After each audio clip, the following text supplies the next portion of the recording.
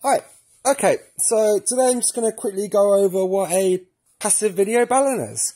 Okay, um, so here's an example of one. They come as pairs. And what is a passive video balun? Okay, so as you see, it uses your traditional BNC analog connection. But what it uses is a Cat5 or Cat6 cable. So this is the beauty of the balun. Okay then. So these are very easy to wire up using Cat5 cable, Cat6. All you need is, um, you know, your wire cutters to make nice and neat wires and a screwdriver for the power jacks. Uh, but for these ones, you just literally put the wire in, in the hole here, hit, open up the holes, put the wire in and close it like that. Okay, very easy to use and they're very professional and give a very good top quality picture for your analog cameras. So these are Hikvision baluns we just using. You can see the model number there, available on our website if you're interested. And the Hikvision ones we found out really do give best possible picture quality for your Hikvision camera.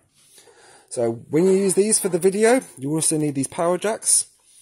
Now these are for the power of the camera, and you run that uh, alongside your power supply next to your DVR. Okay. So let me quickly show you an example of cat cable. Okay, this is your typical cat cable comes as four twisted pairs. So you have four pairs here. And for the each camera, we need uh, two pairs. So one pair for video, one pair for power. So, so theoretically, you can run two cameras off one cable. Uh, it does help if they're right next to each other, obviously, because uh, you're going to be quite thin on the cable once you've taken off the shielding. Uh, but if they're right next to each other, you can go ahead and uh, wire up two cameras for one cable, which is another little benefit of using um, cat cable. So, as you see, you got two pairs each one. All you have to do is strip the cable down, probably about centimeter maximum. And then you take that cable and you put the positive, which I usually use a solid color into the positive and the white color into the negative. All you do is literally split the cable here. Obviously you have to strip it down to the copper I'll let you guys mess around with that. And then you just pop it in the hole here. Let go, and that's how you, you wire up that simply.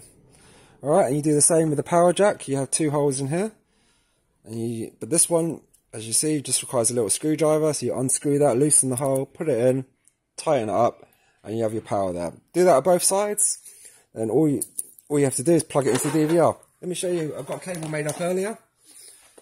Quick example. Okay. So here is our cable. Connected. Two cores, two pairs in each core. Okay. As you see, yes, twist that to the back of the DVR you run your power supply next to your DVR here. And you do the exactly same thing. On the other side, you would have the uh, the male power jack and the same video balun on the opposite, opposite side. So this is how you use cat cable and video baluns to run your BNC analog camera. As you see, very easy, very simple, and hope you hope you learned something. And see you next time. Thank you.